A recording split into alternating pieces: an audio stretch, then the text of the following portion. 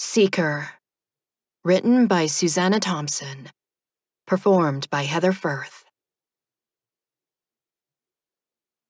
Chapter 15 I get called down to the counselor's office right before lunch the next day. Silas is sitting in one of the chairs facing her desk, and he turns to look at me when she greets me as I hesitate in her doorway. She talks in a cheery tone of voice about how I can show Silas where the cafeteria is and have lunch with him. Okay, I agree as I evaluate his somber expression. He's silent as we walk out of her office and down the empty hallway. What's wrong? I ask him. I failed my tests. He replies dejectedly. You can't fail them, I explain. They're placement tests. They just help them figure out which classes to put you in. I'm not in the grade you told me I would be in, he says.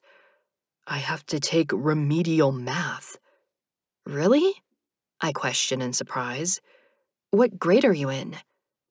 He pulls a sheet of paper out of the folder I gave him yesterday and hands it to me. I scan his class schedule before my eyes go back to the top of the page and see that he's a sophomore. Looking back down his class list, I note the remedial math class, but I also notice that he's in advanced English. After saying that he's been placed in some random filler elective class, I turn back toward the counselor's office. Did you tell her that you know languages? I inquire as he follows me. She didn't ask, he replies. A language will look better on your college application, I tell him. Which one do you want to take?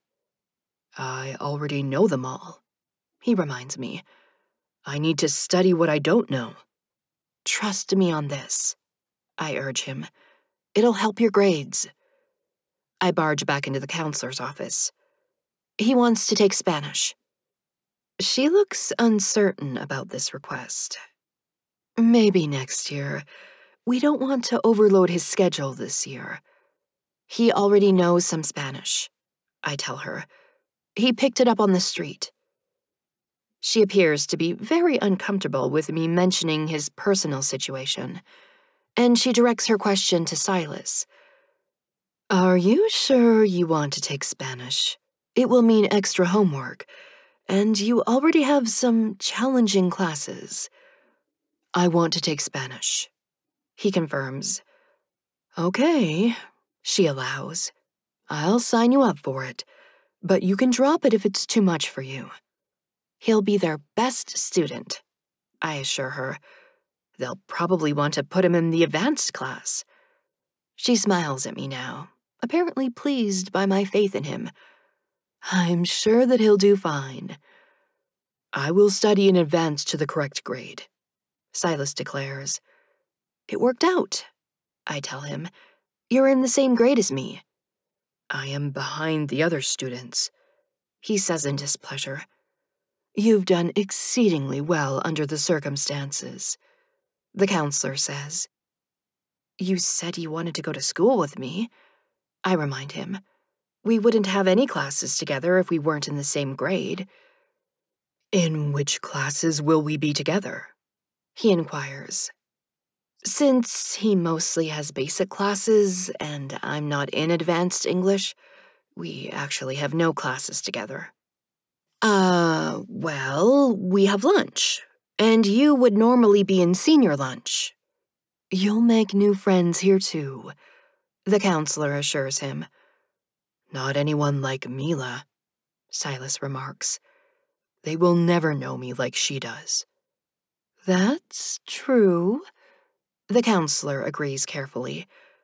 But you can make a new start here and meet people with different perspectives than your old friends. Look at it as an opportunity to expand your horizons. She has no idea how vast his horizons used to be, I think.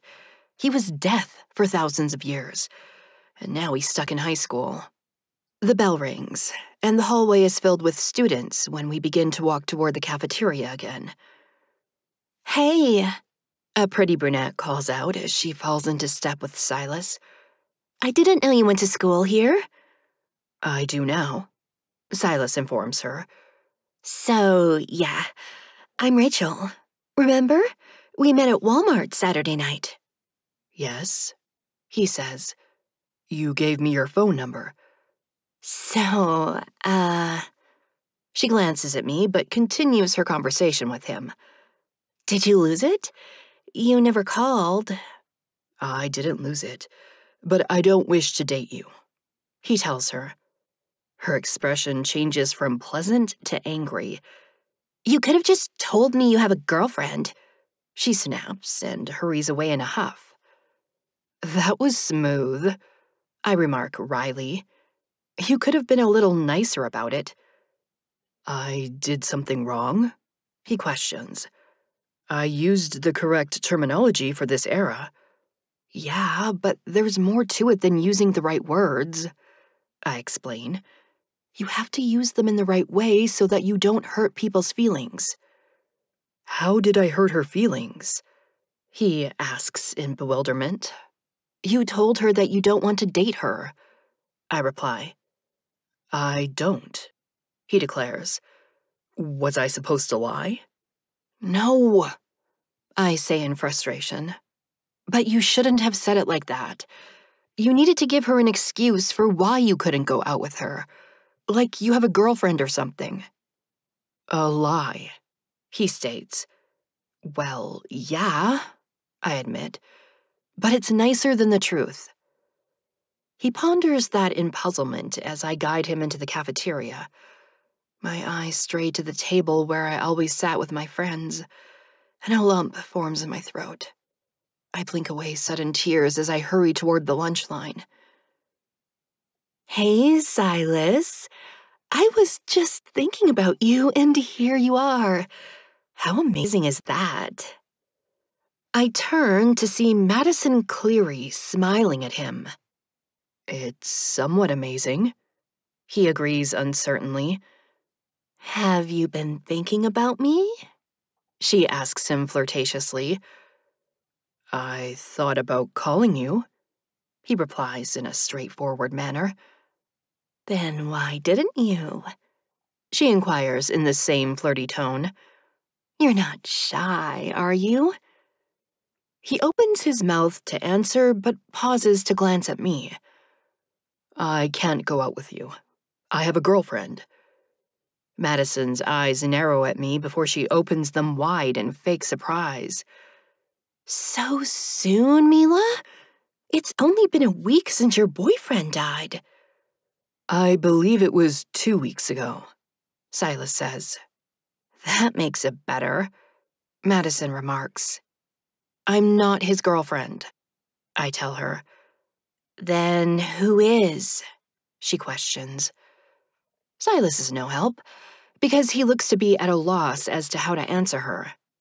She's, um, I begin, but Madison cuts me off. I'm not judging you, she declares falsely. I've heard that people deal with grief in all kinds of ways comfort, sex, and all that. She's succeeded in her mission to make me look as bad as possible, and I flush in embarrassment as I notice people watching us. Escaping their stares, I rush from the cafeteria into the now empty hallway. I'm not even aware of Silas until he enters the restroom after me. You can't be in here, I tell him. Do you have to go to the bathroom? He asks. Everybody thinks we're.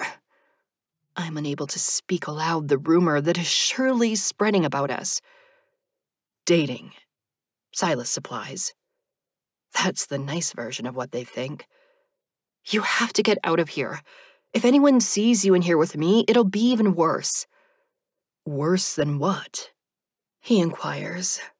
You'll get in trouble if they catch you in here. I say in desperation. Boys are not allowed in the girls' bathroom. That finally gets him to leave. I slump against the wall, feeling completely demoralized.